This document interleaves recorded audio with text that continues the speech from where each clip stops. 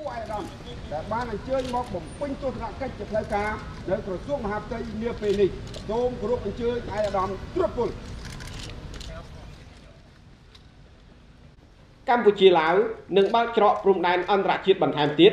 ដើម្បីសម្រួលដល់ការធ្វើដំណើររបស់ប្រជាពលរដ្ឋនិងការធ្វើពាណិជ្ជកម្មផ្សេងៗខណៈបច្ចុប្បន្នកម្ពុជាឡាវមានច្រកអន្តរជាតិរួមគ្នាតែប៉ុណ្ណោះគឺច្រកត្រពាំងគ្រៀលណងនងខៀនដែលស្ថិតនៅក្នុងខេត្តស្ទឹងត្រែង ឯកឧត្តមផាតសុផានិតប្រធាននាយកដ្ឋានទំនាក់ទំនងអន្តរជាតិនៃក្រសួងមហាផ្ទៃបានប្រាប់ក្រុមអ្នកសារព័ត៌មានក្រោយបញ្ចប់ពិធីចុះហត្ថលេខាលើកំណត់ហេតុស្ដីពីកិច្ចសហប្រតិបត្តិការឆ្នាំ2019ក្រោមអធិបតីភាពដ៏ខ្ពង់ខ្ពស់សម្ដេចកលាហោមសុខខេងឧបនាយករដ្ឋមន្ត្រីរដ្ឋមន្ត្រីក្រសួងមហាផ្ទៃនិងឯកឧត្តមឧត្តមសេនីយ៍ឯកវីលេឡាខាំភុងរដ្ឋមន្ត្រីក្រសួងសន្តិសុខសាធារណៈ នៃសាធារណរដ្ឋប្រជាធិបតេយ្យប្រជាមានិតឡាវនៅព្រឹកថ្ងៃទី5ខែមីនាឆ្នាំ2019នេះថាច្រកទ្វារព្រំដែនអន្តរជាតិថ្មីដែលភាគីកម្ពុជាឡាវកំពុងសិក្សារួមគ្នាដើម្បីបើកនេះគឺអាចនៅខេត្តរតនគិរី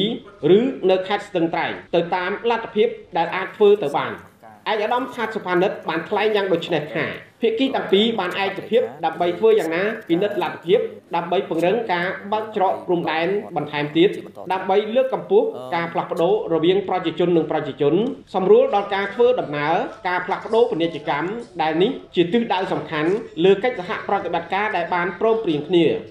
មន្ត្រីជាន់ខ្ពស់ក្រសួងមហាផ្ទៃរូបនេះក៏បានអះអាងទៀតថាក្រៅពីឯកភាពគ្នារឿងការបើកច្រកព្រំដែនហើយនោះកម្ពុជាឡាវក៏បានធ្វើការបដិញ្ញាចិត្តរួមគ្នាផងដែរលើការបង្ការបង្ក្រាបនិងទប់ស្កាត់បញ្ហាគ្រឿងញៀនដោយភាគីទាំងពីរនឹងខិតខំប្រឹងប្រែងធ្វើយ៉ាងណា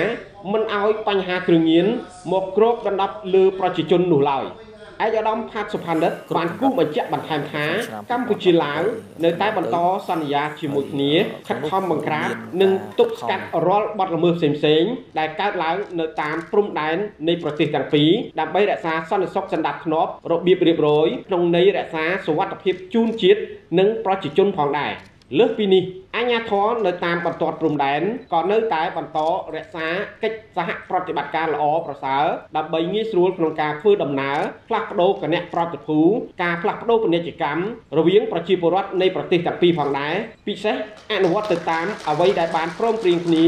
នៅក្នុងកំណត់ហេតុដែលបានចុះហត្ថលេខារួចរាល់ហើយនេះ។